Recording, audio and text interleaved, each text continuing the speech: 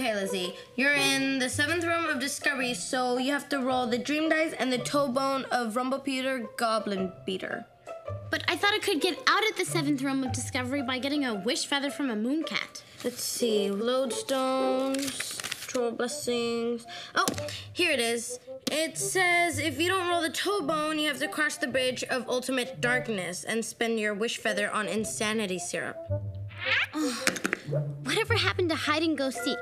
Simple game, you know, you count to 50, I go hide. Ideally with Ethan Craft on a yacht. We've been playing this game for 20 minutes now, okay? Gammy McGuire's gift has been enjoyed. You guys just want to quit because I'm winning. You are? Uh, How can you tell? Well, I've acquired the 13 skulls, and you know what that means. No, I really don't. Nor do I care. Well, I can trade them in for a shape-shifting button.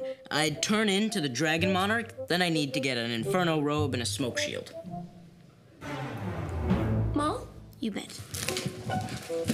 All right, all right, I'll, I'll come. Bye, Mom. Bye, Dad. Bye, honey. Mom, Dad, I need to ride to the docks How come, champ? to check out some wharf rats. Are you talking about colorful waterfront characters named Captain Salty, or are you talking about actual disease carrying rodents? The actual disease carrying rodents. I'm studying wildlife for school. Well, you're not studying rats, young man. Okay. Well, I'm gonna go ride my bike up to the hills to check out some rattlesnake nests. See you at dinner. Hey, come here, Indiana Jones. You can study nature right here at home. But there isn't any here.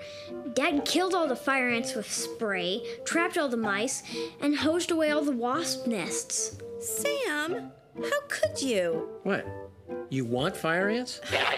Hey, there is a bird's nest in the oak tree in the backyard. Well, go quick, go study before your dad cuts a tree down. Good idea. I bet he's just itching to chop that puppy down.